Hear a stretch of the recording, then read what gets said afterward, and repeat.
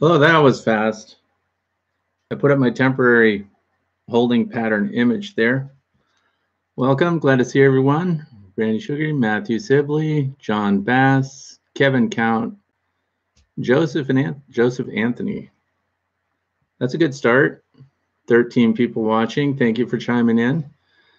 Uh, hey, Robert, this afternoon I had a uh, photo session rescheduled, so my wife gave me permission to come and do a live chat for a little bit, and then I have to stick to my schedule or she'll cut me off. So I'm glad everyone made it. Nathan, good to see you. Neil, Kevin Count. My Sunday's going great, Kevin. Thank you. Especially now that, I mean, I wanted to take pictures today, but the weather's terrible, so they rescheduled. So I was very sad about it. So I made some tea and decided to do a live chat and keep people. Philip, see, you caught me this time. Last time Philip chimed in late, I think. And just for those who might be looking at this later, this is actually Sunday afternoon, Eastern Standard Time, the United States, and it's 2 2:23 p.m. So if you're watching this on Monday or something, it's no longer live. You're watching the recap. So beautiful autumn day in Chicago, says Kevin. Chicago, the Windy City, right on Lake Michigan. I used to teach over there, by the way. And uh, Francis Michael, is Flow Hive the best for honey harvesting? Says Michael Mora. The best method for honey harvesting, I would say that the Flow Hive is the easiest method. I would say the best is whatever somebody wants to do when it comes to honey harvesting. And that, you know, with the Flow Hive, is probably the number one point of contention for people that are anti-Flow Hive uh, because there's this whole process traditionally of removing honey from a beehive and getting it from the honey super and pulling out the frames, uncapping the frames, and then using an uncapping tank and then straining the honey and then putting it, of course, you have to spin it too, centrifugal force to get that out of there. And it's a big all day afternoon thing that he used to do. There's Pilot McBride. Good to see you. And uh, so is the flow hive the best? It is for me right now because I like taking honey out of the beehive without disrupting everything that's going on in there. And it's not an all day event. It used to take me a full day late into the night to extract honey with a traditional process. So it's uh, it's a matter of personal preference. But I would say that flow hive honey is the most direct method, straight from the frame in the hive, straight to the jar with no filter and nothing in between. So in that regard, plus if you want to take honey out of a beehive super and have it preserved by its floral content frame by frame directly into the jar, that's something that doesn't happen when you do a traditional extraction because you pull the whole super off together, you uncap it, you spin it out, you filter it, and you've blended all those frames together. So that's one advantage, and one of the reasons I like uh, the flow supers is because of that. You get individual stuff, and I can just take a few frames instead of the whole box. So it's not a big deal anymore. Let me see if I can not lose track of people here. Cutter Leaf, if you gave a drone larva extra food, would it become a super drone or a king bee? You know what, Cutter Leaf? Uh, I don't think there's any such thing as a super drone, and we're not in control of what gets fed to them, although there certainly have been entomology departments doing laboratory studies based on diet, and they have super loaded drones and others to see what would happen. Their physical size is genetically established, although you can create runts by not feeding enough, but overfeeding does not result in supersized bees. And as far as a king bee, uh, there's no such thing. There's just a bunch of males that serve at the uh, complete whim of the worker bees. And this time of year, the drones are driven out and they are dead. Diet for the bees, royal jelly, and everything else is a point of current study, and it's going to be ongoing because uh, a lot is decided based on the diet and how much is fed when it comes to whether or not it's going to be a worker, whether or not it's going to be a drone, or whether or not they're going to reproduce and have a queen. So diet related, amazing stuff. But no, you can't get a super drone, but that would be funny if you could. And uh, John Bass, I'm getting into beekeeping this coming spring. I live in South Carolina. Do you think the bee weaver bees would be good for a beginner in South Carolina? Absolutely, John Bass.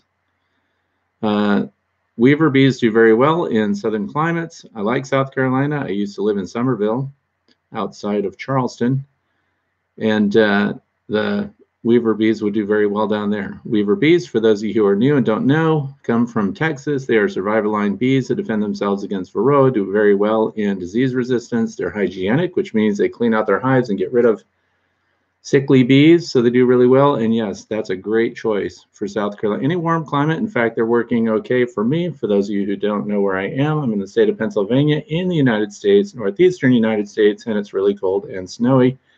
They make it here. So yeah, I would say the Weavers are good all over the country.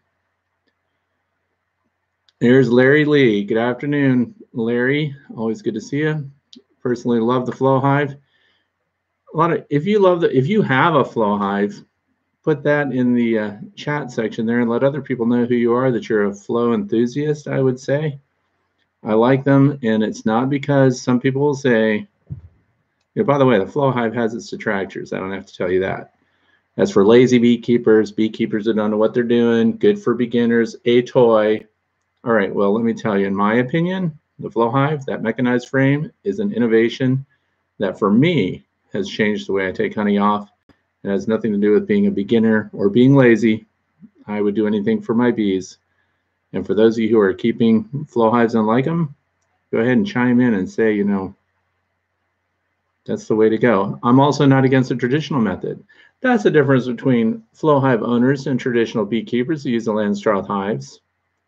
The flow hive keepers don't hate the Langstroth beekeepers for the way that they harvest their honey, even though they smash a lot of bees. It's very difficult, it's very disruptive. Uh, you have to really get into the hive in the midst of a honey flow. And uh, you don't see flow hive people going, well, those traditional Langstroth people, boy, do they stink. What a bunch of jerks tearing into the hives. No, they don't because most flow hive people are super friendly. That's right. And so I say, whatever you decide to do to take honey off of your hive, just do it the best you can with the least amount of impact on the colony that you're managing. And if it happens to be a flow hive, you're going to have less impact on the colony during the nectar flow. They don't even know you're taking the honey out. And then somebody else will say, that's right, they don't know. So they think they have honey in there when they don't. And then they go to get their honey when they need it, and then it's gone. Not true. The minute that that honey is drained out of that frame, the bees start uncapping the wax and cleaning out the cells and going straight to work so they know more than we thought they did.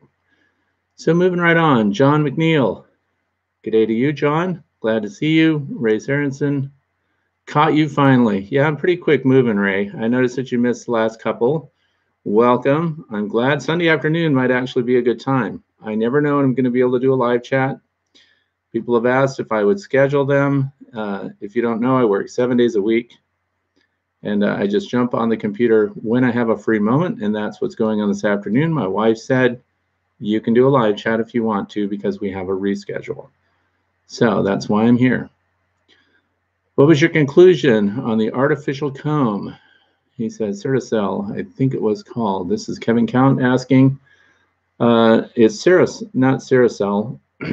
it's a Better Comb being sold in the United States by Better Bee and it's called originally Hexacomb, and it is a synthetic pre-drawn wax imitating comb.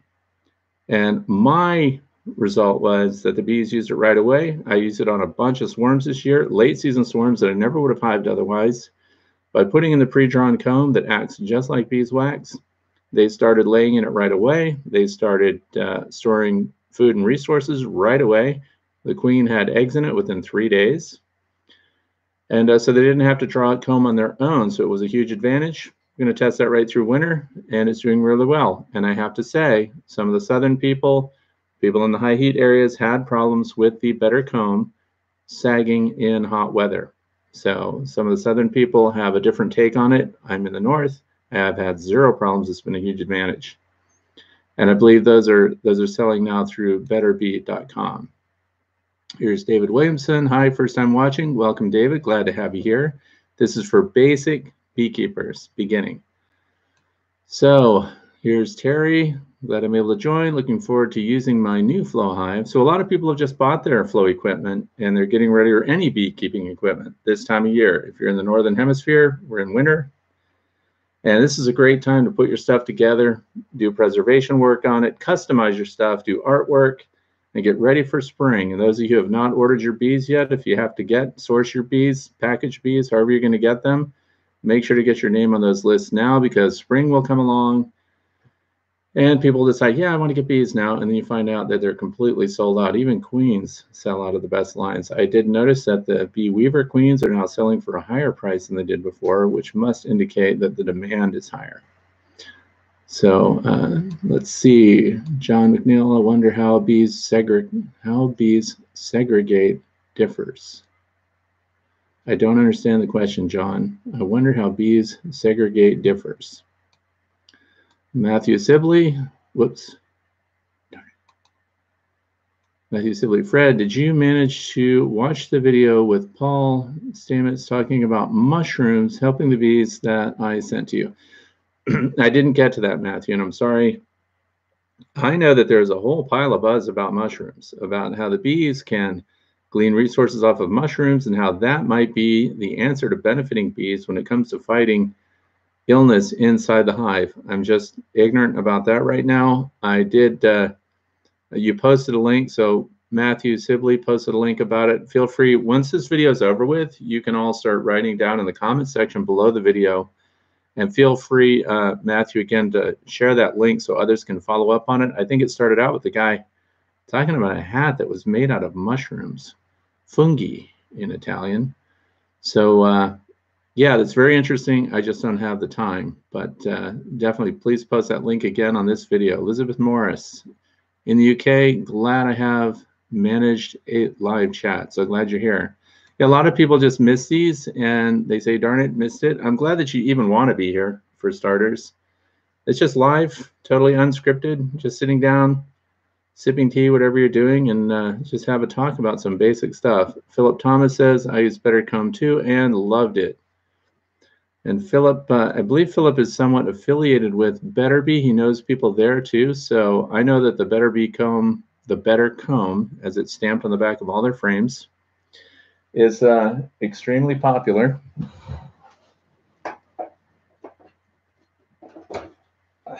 This is what we're talking about. This is Better Comb. It's pre-drawn. It's synthetic, and it's ready to go. And darn, it's upside down. And that's what the back is stamped. Oops. There it is. Better Comb by Better Bee. That's it. It's just like the bees treat this, just like the, the wax that they've made themselves. It's excellent stuff. I'm using it only in my brood frames. It will cost you, oh, look at the exposure adjusting. Anyway, it will cost you um, with the comb for a deep frame, with the frame and the comb in it, I think it's $8 a frame. So $80 for a 10 frame Langstroth box if you're filling all of it with that comb. Overwhelmingly, it's performing really well. People like it. Elizabeth Morris, or here's, let me back up. Robert Geckel. Hi, Fred. Sent you an article on your webpage, Fred Fell. It's on RF frequencies and its effect on bees, radio frequencies and its effect on bees. That's uh, been something that's been questioned a lot in the past. I'll check that out later when I get the time. Elizabeth Morris, I've had bees two years and I've had five flat pack hives to build this winter. I hope to try queen rearing too. Queen rearing is a lot of fun for sure. Uh, I use the Nico NICOT system for queen rearing, and I probably someday should do a video on that. That has nothing to do with basic beekeeping queen rearing, grafting eggs, and all that stuff is an advanced practice. Here's Robert. I think I may have sent something on that to the mushrooms, but I've seen that in my compost pile and I have mushrooms there. Mushrooms, interesting stuff all the way. John McNeil, Fred on the bed. On the bed of comb, do you have to replace all of the frames or only those that they're going to use for brood frames? All right, so when you put the um, better comb in the pre-drawn stuff. I would only put that in like the center three or four based on my experience through this year with them. And then use regular frames outboard of that. because I really want to use it just to kick things off faster, to give them an immediate place to put their resources, put their eggs in there. If you've got pre-drawn comb already from other hives that you own already and you know that they're clean and they're not diseased, that's better to start with. But this is for people that are starting with an empty box. They want to build a brood fast, or installing a package or something, or for me specifically, swarm collection late in the year. It gives them a fast start and if we get those through winter this year, that's going to be a big endorsement for better comb. But yeah, I use it sparingly. So if we can give them three or four frames where they can get their brood going and get their pollen stored and get the bee bread going, and then they start storing their nectar resources right away and turning it into honey, we've accelerated their ability to survive winter when it hits, and it has hit. So what else do we have? Hard cooling. Hello. Would you recommend this type of beehive for a beginner like me? So if we're still talking about the flow hive, flow hive seems to dominate conversations. All right. Um, I reckon it's the same answer I always give. If you have plenty of money and it doesn't bother you what it costs to set up your hive, I would certainly start with a flow hive. Why not? Beekeeping is the same in the first, you know, you have a you have a hive stand built in with the flow hive 2.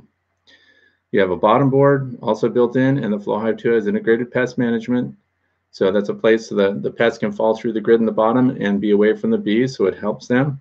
And then the brood box is the same for every hive. It comes in a 10 frame or an 8 frame Langstroth size. And it's only the honey super that is where the difference comes in, and that's where when you're shopping, the big money comes in. So also, let me make a note. I'll put a link to Flow Hive components down in the video description after this is over with. I can't do anything about that right now. And then you can go and look and see what the offerings are and see if it's within your budget. If it is, certainly it's any beginning beekeeper is going to have the same experience. The difference is what's your investment. So that you're also deciding whether or not you want to even keep bees. So I suppose you would be a little more upset about that if you bought a bunch of expensive hive equipment and then found out after the first year, I don't like bees, or you find out a family member is allergic, or your neighborhood doesn't allow them, or something like that, then your investment's bigger. But if you start, uh, you can get a whole kit for three or four hundred dollars, three or four hundred dollars from any of that. Dadant, Better Bee, you know, Mann Lake, all these companies that provide bee equipment and if you're overseas or something, of course, localized sources for your bee equipment. Much cheaper, you can get started. So by the same token, if you start with a basic beehive system that's standard and traditional, you can always add a flow super the following year if you decide it's for you. But as far as bee management goes, I would say the flow hive, and I'm, I know I'm giving a counter opinion to what a lot of honeybee keeping instructors do. Most instructors will say the flow hive is advanced. I would say that when it comes to the time to take off honey from your hive, I would say the flow hive is much simpler. You, you, it's not as involved as removing honey traditionally is. Less equipment involved, uh, less effort, which is why people say flow beekeepers are lazy people. And uh, it just goes from there. Flow hive extraction of honey is simpler easier and more basic than traditional removal of the frames, uncapping, spinning out, and uh, going through all those steps and then restoring things later. So I say it's about budget, not about ability. Here's Tara Lee. Hello, everyone. Totally new to beekeeping. I am an organic, regenerative gardener thinking about trying beehive a beehive next year I will be lurking and learning. Welcome, Tara Lee. I'm glad you're here. Lurk all you want. And by the way, the people that watch my videos are very congenial. They interact with each other. They'll be happy to answer questions if I'm around. If you see me answering questions on YouTube, it's because I'm literally sitting in front of either a laptop or my desktop. I don't have streaming. I don't run around with a tablet or cell phone or anything like that. So if I'm here, I'm here. And I'm so glad for those of you who take the time to answer other people's questions because we're actually learning by teaching and uh, it's, it's a great exchange of information. So if you're new here, always ask questions. Somebody will answer. Here's David Williamson. Have you ever handled a swarm, excuse me, without any protective covering? That's a good question. I've done lots of swarm videos.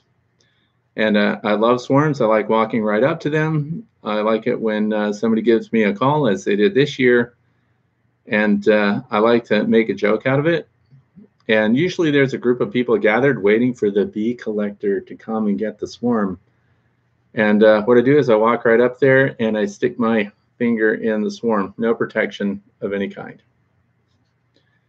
Now, that always gets people scared, but what it is is a great teaching opportunity.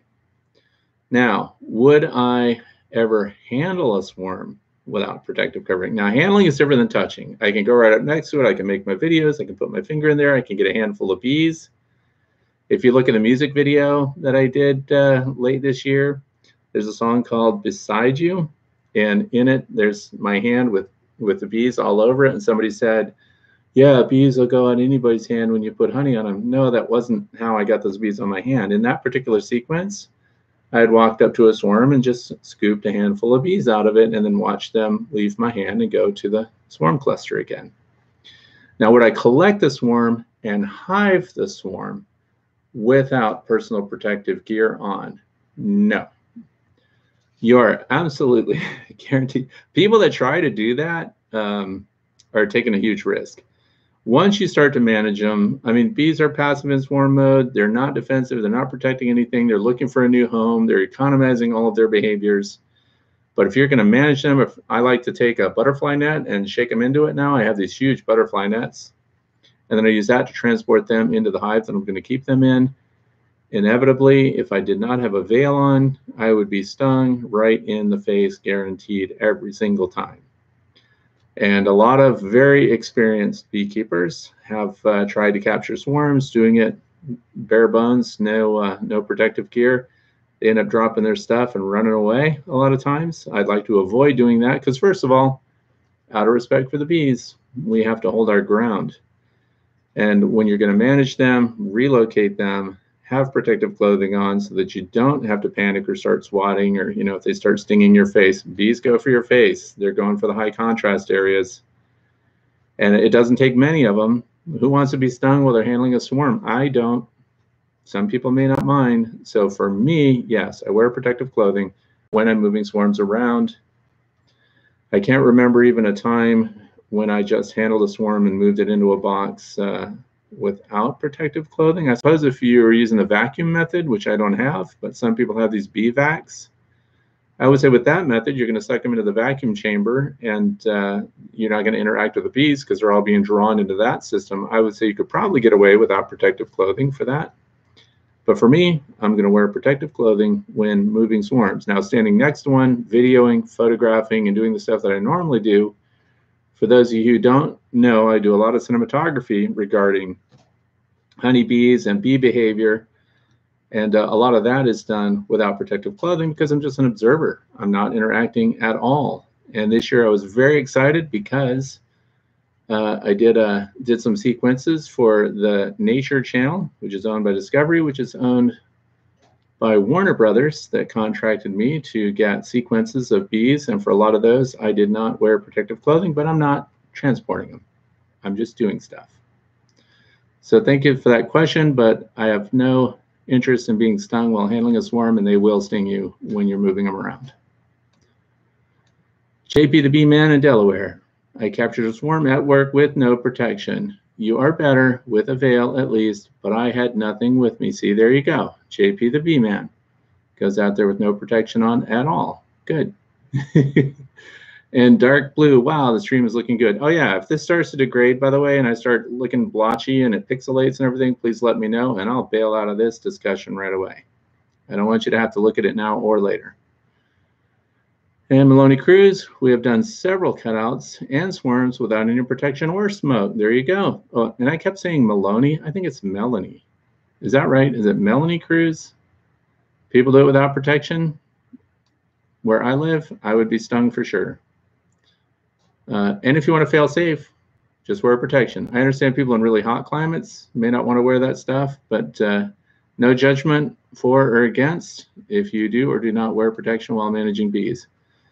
Uh, Melanie Cruz, BVAC does work, but you also you're also cutting comb out in a cutout. Okay.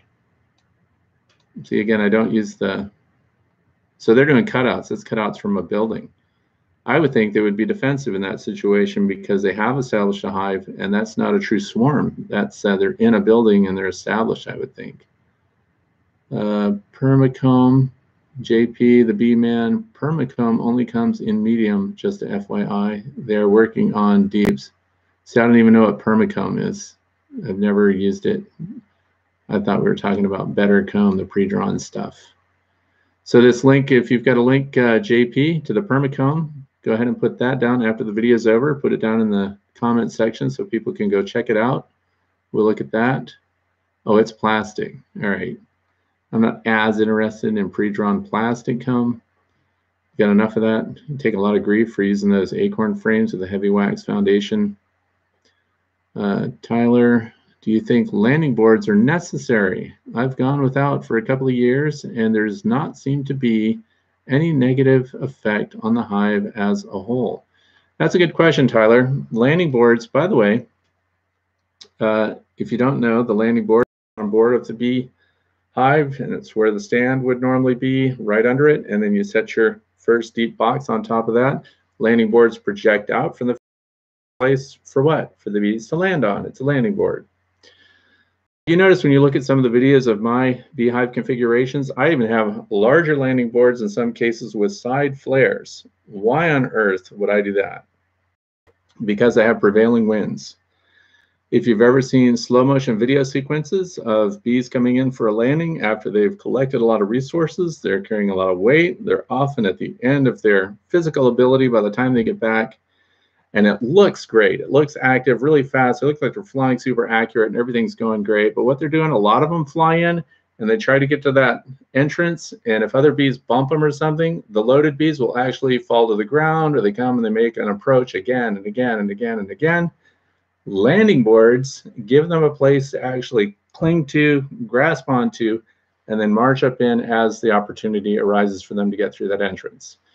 The reason that I put these slide flares on some of my beehives is because we have this crosswind, and I noticed that the bees were coming in and getting blown out to the side, and they would come back and do these approaches over and over. With the side flares, as soon as they hit that windbreak, they landed and they were able to get in. So that was a benefit. We try all the different varieties. I know most commercial beekeepers, because they're shipping and, and stocking and loading and unloading their hives, a lot of those have flat fronts with no landing board, just an entrance.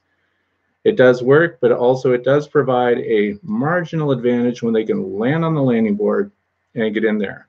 Another advantage to no landing board might be that mice and things like that can't get into the beehive so easily because they like to climb up, get on the landing board, and then go right through it. And if the hole's not big enough, they sit right there and they chew at it until they can get in. So there are pros and cons to each. All of my hives have landing boards because those have provided a benefit to my bees. Hello to you, Bob. And then we have, uh, what else? Am I missing some? Easy way not to get stung, retrieving a swarm. Call the other guy. You know what, pilot? That's a very good, that's a very good answer. And uh, was a poet, hi Fred, on feeding syrup. Mine are going through a liter each day, Australia. By the way, and thanks for chiming in from Australia. It's great, you know, to be connected to people all over the world. Australia, now just parts of it, I guess, but where New South Wales, where the flow hive was invented, they've had huge fires out there. And they're also in a dearth. I guess there's a, a big absence of rain. So the bees are stressed and there's a lot going on, and people are feeding their bees now trying to just keep them going.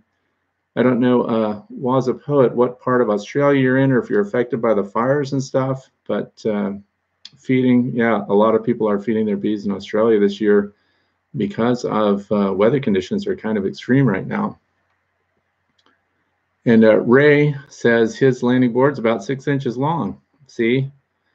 And uh, landing board configurations are interesting. Sloped. Remember, if they're flat, you want to tilt your hives forward towards the landing board so rainwater and stuff doesn't run in.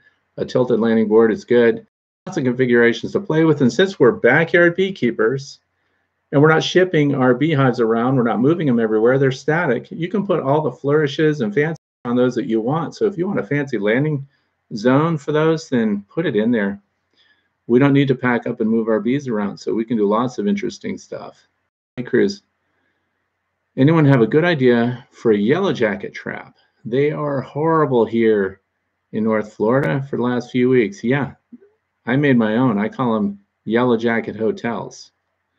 Here's what I do for yellow jackets. And for those of you who are wasp huggers and hate me for my videos where I have taken yellow jackets to task, a yellow jacket is a wasp, it's in the wasp family. They're hard on the bees. And what I do is I've made some configurations. I take a, a big cardboard box and I have entrance holes in the bottom of it. And inside that, I put a plate.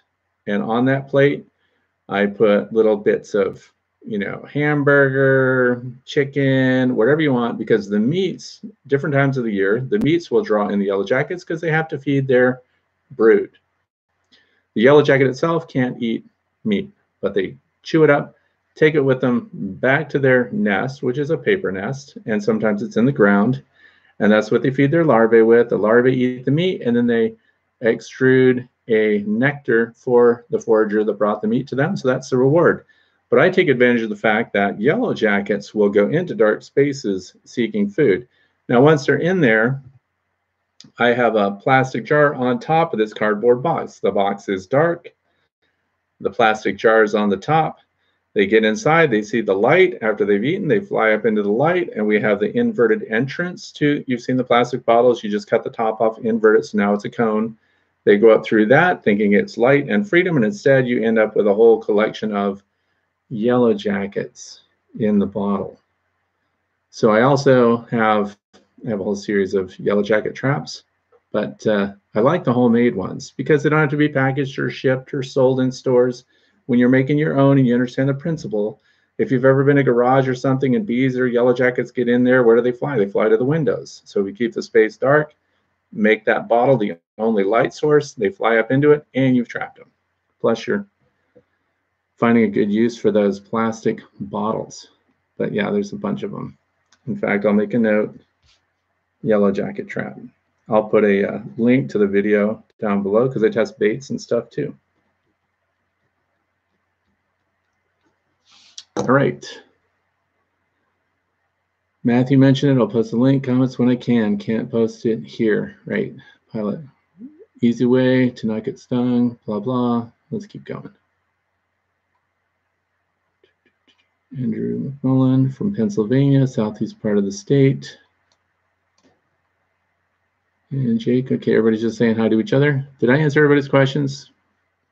That's the other thing. If we run out of questions to answer, that will be the end of the chat.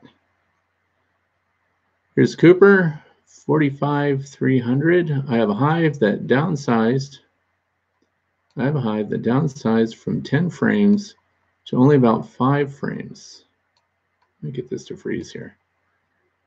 Uh, going into fall, two and a half frames of honey, the rest pollen and brood. Do you think they'll be fine through winter? I feed like, if I feed like crazy. Um, that depends on the size of the colony, how many bees are in there. I've had very small clusters of bees make it through on minimal honey supplies, but you should be prepared to feed them. I'm not going to talk about that right now. I have another idea for what to feed bees in winter, but I'm saving it for an FAQ. So um, do I think they'll be enough fun? I would be prepared to give them more. Always be prepared to feed your bees more than they need. And then if they need it, that's great. You saved them. If they don't get through the resources that they have on the hive already, and they never get to the supplemental feed that you put on, so what? You wasted some resources, but you saved your bees. So I am of the thinking that you can make emergency resources available to them even if they never get to the emergency state, if they don't consume all their stuff. Will the bees avoid syrup if environmental nectar flow is good? You bet they will. You can put your syrup in those rapid rounds and everywhere else. And uh, once they start bringing in the good stuff from floral resources, they'll ignore the syrup. Then the syrup spoils. And then you get it out of there. And uh, Ed Graywolf, hello from South Prairie. Always good to see you. JP the Bee Man again. What do we have? Man, I wish you could freeze this.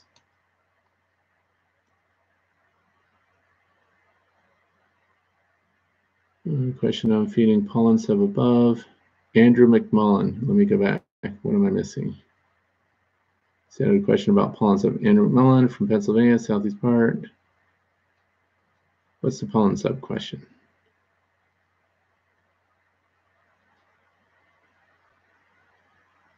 If I get a BeeWeaver queen, this is from John Bass. If I get a BeeWeaver queen, should I just get a nuke? And how many bees do you think for a flow hive? It's not the number of bees you initially get, it's how fast they build up. So if you're getting a nuke, for those of you who are brand new, the ways that you get bees, you buy them as a package. So it's a package of bees with no frame, no, they're not laying yet. The queen is she's transported in a package with them. And then the other thing is a nuke, which is short for nucleus, which means those are frames that have brood that are already capped. The queen is in there, it's a laying queen, and they have a workforce. That is the fastest source for building up that you can get. And uh, is that enough for a flow hive? It depends on how fast they build up and what the environment's going to sustain once they get established. So that's it's not a question really that can be answered in the abstract like that. But if you're getting a nuke, you're doing that's the fastest sourcing of bees for the fastest buildup. Marshmallows work good on possums as well as skunks. Past FAQ video. FYI, marshmallows were good on possums. Well, you know, I caught a skunk. I don't know if you've ever heard of the Havahart Company, which is owned by Woodstream. Uh, I'm one of their testers. And uh, they sent their new automatic opening skunk trap so that it's on a timer. So when it flips open, you can uh, be away from it, five minute timer let the skunk out, run away. It'll pop open. I trapped them with marshmallows. Marshmallows do they work for skunks? They work for raccoons. Everything loves marshmallows for some reason. You know that skunk wouldn't come out of that trap. That was a three and a half hour review of how stress free it was. It was so stress free. The skunk took a nap. I finally had to lure it out of there with marshmallows, and then somebody else watched that and decided they'll keep skunks as pets. You never know. Marshmallows are great though. Marshmallows don't do well after it rains and stuff though. And by the way, it's the best brand of marshmallow for the skunks and stuff. Stay puffed. So let's move on. Kraft marshmallows are very good too. How did that even come up? Andrew McMullen. What am I doing? My stuff just took off. Best way of dealing with high humidity areas in winter, Seattle area. High humidity areas the bees are going to vent out the humidity on their own. So they do a very good job of that, unless you have freezing temps. Uh, the bees are going to move air around and dehydrate the hive. The best thing you can do is put your beehives in a sheltered area where rainwater does not directly hit them. If you want to build a, a shed or a lean-to or something like that over the top of it to keep rain and heavy dew off of them, that's going to be a help but the bees are going to do that very well on their own. JP the bee man, Delaware, do you run temperature sensors in your hives? I just built some and I'm seeing 14 to 15 Celsius. I do not run temperature sensors in the hive. I think it's called Broodminder, the company that it's a multi-faceted sensor. One is the physical weight and the other is temperature and it reads out to your phone. People use them. I don't. Uh, all I do is go out in the wintertime when the snow is deep and I use a, a um, thermal camera and I look at the surface and the surface temperature, even though it only reads maybe 35, 36, shows me something in that colony is alive and it shows me which box has the heat. So I kind of know well they're doing. I don't have any of those internal hive monitoring systems yet. You never know, anything can happen. But for now, I don't. But a lot of people in my beekeeping uh, group here where I live do use them. In fact, one person just over the hill from me has like six of them. And those things aren't cheap, by the way. I think it does a good job of letting them know when resources are leaving the hives and not being replaced. Uh, the physical weight shows you when there's the numbers of the bees are building up and then the resources are building up so that we know, you know, up and down how well they're doing. John McNeil, Cedar, Flow, always commenting on honey differentiation by frame. How do they do it? John McNeil. By the way, Cedar mentioned me in a recent video. Somebody told me was talking about my mineral content evaluations. But anyway, he's always talking about frame by frame. Well, that's because when the bees, when the foragers come in with the nectar, they're handing off their nectar to other bees inside the hive that haven't left the hive. And they're the ones, the storekeeper bees, I call them. they go around and they transfer that nectar into different cells. But you know what they're doing? They do it in clusters. So, and also it's seasonal. So for example, the center frames of your brood box will be generally the first filled. So if the first thing coming in is clover, then the first, the center frame and the one next to it, for example, those will be clover frames. And then as well now, apple blossoms kick in and now pear blossoms and cherry trees. Those will become the outer filled frames. So it's it's seasonal and it's clustered by the way the storekeeper bees move stuff around. And when you look at the end frame of those flow hive frames, you can see the color differences. But then when you get late in the year, September, October, so late September, early October is when we pull off the last of our honey before we leave the rest for the bees and we start disassembling that stuff. Uh, you see a pretty constant source because here we have asters, goldenrod, and uh, Maximilian sunflowers were the end of the season. That's pretty consistent. That all looked pretty much the same. So you didn't really have any of that frame by frame distinction. But midsummer and spring, you have definite frame by frame distinction. I think that's because you know you got five days of one source, you know, and then another source kicked in, and so you see that. So that's how that works here where I live. The seasons provide different floral sources and they start storing that in different frames as they fill outward until they get to the very edges. So that's how that works. So in spring, the greatest distinction frame by frame. In the fall, they're kind of consistent. They're kind of pretty much the same. So best in bay dealing with high humidity, cedar, blah, blah. Oh, darn, took off again.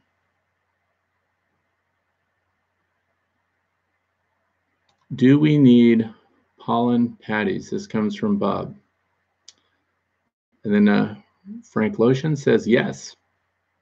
So do you need pollen patties? I personally don't. Uh, some people when to use pollen patties. I don't put them on in fall. Some people like to put them on at all different times. I will say this, if you're getting pollen substitute pollen patties for your bees, the number one tested pollen patty that's commercially available comes from Mann Lake, and it is the Ultra Bee patties. They also have Ultra Bee dry pollen.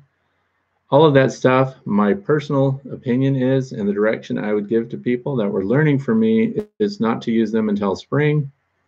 Uh, you don't want to kick it off. Plus, they do have a shelf life. They do spoil, they dry out. And uh, you want to leave that uh, wax paper coating on them and just poke holes in it. The bees will chew it away on their own. If you peel it off completely and just put a patty on there without the wax paper, it dries out much quicker and spoils faster. Some of those have some essential oils in them and everything else, but that's a protein pollen substitute generally. Some of them have real pollen in them, uh, and that's for developing brood. So you want to wait until spring. For me, that would be February or March around here if you're trying to kick off early brood, but I don't use it in the fall, if at all. So for me personally, I've tested them and I had one colony eat like a third of the patty and I had a huge box of them that went to waste. So wait until spring on those, unless you're in an area where you have, you know, ambient nice temperatures year round and it doesn't freeze and you don't have snow and ice, then you could sustain heavier brood loads uh, by providing that artificial feed resource. At 1134, I had a question about drawn comb storage. Oh, for storing the drawn combs? That's easy. What I do at the end of the year, when I've drawn off, when I'm packing down hives, which means you're removing all the extra supers and you're getting them down to at least a deep medium or a deep and another deep full of honey for wintering. The other frames we pull off and I have a robbing station and I put them out there and I let the bees clean all of those things up. And uh, that means I don't have any high moisture content nectar left in there. The bees clean it all off. They chew some of the wax away. They do a great job of cleaning it on their own. They lick every part of the surface, and then I stack them one on top of the other, and I put heavy duty black plastic trash bags in between each box. And they're closed off, so then the uh, wax moths and things like that can't get into them, and mice don't get into them through winter. And you definitely want to put a bunch of mouse traps around the outside of them to make sure they don't chew holes while you're not there in your bee storage unit. And that's what I do for winter. And then in the spring, wherever they're needed, I take them out and put them on. That's my comb storage. I don't do any, uh, you know, anything else to it. I let the bees clean it up, and and that's it for me. I put out Mann Lake Pro Winter patties in round top feeders five days ago. So see, I don't know what the pro winter patties are. So Jeremy uses those. Uh, see, I don't, and he puts them in the uh, round top feeders. I'm guessing the rapid rounds maybe, and put them out five days ago. Um, I don't see there again. I don't use that. So, so different parts of the country, those things have different benefits. Hi, Fred, rooftop beekeeper watching. One shoe welcome. Always good to see you. And Boca Jeremy, Frank Motion was saying, yes, marshmallows for bees. Marshmallows for bees? Why would you feed marshmallows to bees? Anyway, JP the Bee Man, Kamon Reynolds has good stuff on patties. There you go. So that's another YouTube channel, I'm guessing, Kamon Reynolds. You can put a link to him down below if he's got something on bee patties. By the way, Barnyard Bees has a special on Ultra Bee. See, that's it. Um, we're coming up on Black Friday here in the United States, but we also have Small Business uh, Saturday or something like that. And so Barnyard Bees, his name is Dave. He also has an online online shop for bee supplies. And uh, Dave sells bees and packages, I believe. So he sells nukes and uh, he has an online store so check him out. So jp at the end of this feel free to put a link to dave at barnyard bees down there. If you want to link his store or something like that go ahead. And uh, bub okay some patties in spring maybe. All right. Well the best thing you can do is to have enough honey capped honey on your hive left there for the winter time and uh, do you have any idea how long it takes for one hive to rob out another hive. That's from Wheelie King. Welcome back, Wheelie King. I recognize you from before. How long does it take for a colony of honeybees to rob out another colony? Let me tell you what, that depends on the size of the colony that's doing the robbing. And uh, some of the super colonies, I call them, those are the four and five box high bees, 100,000 bees in there, uh, they can deploy a huge force of foragers. And if they find that there's a weakened hive, they can rob out a hive completely in an hour. Completely. And uh, that's insanity. When you see that going on, the bees, the resident bees are completely overwhelmed. If you don't put some kind of robbing screen or something on, uh, you can just say goodbye to those bees because they take everything they have and it happens very fast. Sometimes robbing is, is happening for more than one assaulting colony. So when that happens, they're all ganging up on one colony. So this, these are the reasons why you want to reduce your entrance, entrance reducer, keep it small. If you've got a weak colony, put a um, robbing screen on it like this so that the bees have to come through the top. Robbers don't like to go through the top. They like to fly straight in, fly straight out. You need to be prepared to deal with robbing. And the, the frustrating part of that is we can't watch all of our bees all the time. So by the time robbing starts, and what's evidence of robbing? Well, first of all, the frenzy that's going on in and out all of a sudden. And then you'll see a bunch of debris, debris and detritus and everything laying around the landing board, little bits of wax and cappings and things like that, because they're just destroying the hive. So if you're there and can see it, if you don't, you're just going to see the aftermath, and those bees are going to need help for the rest of the year take can take a very short amount of time. Complete rob out in an hour or less. Jeremy Lindsay, yes, rapid round and pro winter patties had very little protein, so queen is not triggered to lay. Okay, that sounds good. If the protein levels are not high enough to trigger the queen to lay, then you have to wonder why we're putting patties in at all. If all you need is a sugar carbohydrate, then um, I don't know. The, the protein patties don't seem like a pro winter patty so I don't know. Jeremy, please put a link to that. I need to look into what pro winter patties are and how they differ from uh, protein pollen substitute patties. That would be a good thing to know. Uh, help for the rest of the year is what I will be doing. Thanks. One shoe is Blythewood Bee Company, the only distributor of Hero-Cell products in the U.S. I'm glad you brought up the Blythewood Bee Company too. Uh, I've gotten equipment from the Blythewood Bee Company also. Again, if we're going to support Small Business Saturday, and when it comes to beekeeping, so there's Dave Barnyard Bees, he sells stuff. Blythewood Bee Company, please, uh, one shoe, if you would put a link to his website also down once this video is done. We're gonna have people check out his stuff because his prices are very competitive too. I'd much prefer, he's also a veteran, I'd much prefer supporting small businesses with my purchases As far as the Sericel uh, feeders, that being the only source, I don't know, but he definitely sells them, and his prices are as good as anyone's. That's where I got uh, the one that I've shown here several times. Oh, it's stacked in the box behind me. That's that blue edge back here. That's a Sericel 10 frame. Uh, so he's not the only distributor, but I would definitely send shoppers to him. He's a good guy, gives a good value for everything he sells. Robert Mills sounds like the pro winter patties would be like sugar fondant. Not sure though. Well, Robert, if that's true, we're going to find out because if it's like a fondant, I'm going to test that out. So we're on to something. Can't wait to get the link and go check that out. Uh, my first robbing, here's Bob. My first robbing, I put link here. So Pierco has Sericel as well. See Pierco, big company though. I would recommend we support the little people first. And uh, was a poet, a chalk on chalk brood, Fred, is there a time frame to expect the hive to stop having an infected brood? Mine seem to be continuing to drip mummies into the flow hive. Second tray after about a month. They're dripping mummies. Are you saying you actually have chalk brood too?